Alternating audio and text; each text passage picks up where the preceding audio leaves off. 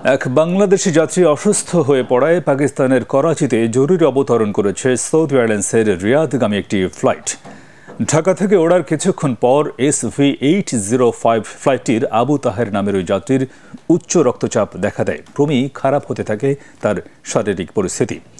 অবস্থায় সৌদি এয়ারলাইন্সের ফ্লাইটটি ভারতের মুম্বাই বিমানবন্দরে জরুরি অবতরণের অনুমতি চায়। কিন্তু তারা বাংলাদেশি যাত্রী অসুস্থ জেনে সেখানে নামার অনুমতি দেয়নি। পরে পাকিস্তানের করাচি এয়ারপোর্টে জরুরি অবতরণ করে ফ্লাইটটি।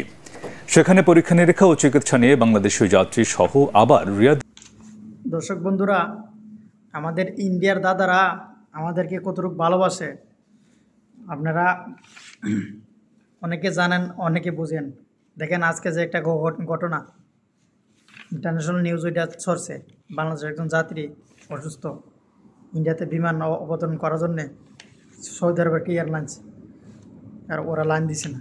তো পাকিস্তানের আমাদেরকে সহযোগিতা করছে এবং আমাদের এই বাংলাদেশি রিমিটেক যোদ্ধা, উনি প্রাণী বেঁচে গেছে। উনি উন্নত চিকিৎসা পেয়েছে এবং বেঁচে গেছে। এর জন্য সৌদি এয়ারলাইন্স প্রতিপক্ষকে আমি একজন প্রবাসী হিসেবে ধন্যবাদ জানাই এবং পাকিস্তানের যে বাইরা ডাক্তার এবং যারা সুস্থ আছেন তাদেরকে ধন্যবাদ জানাই। আমার এই ভিডিওটা আপনারা দেখবেন এবং শুনবেন, দেখবেন। আমরা, আমাদের পাশের দেশ, ভারতের দাদারা আমাদেরকে কতটুকু ভালো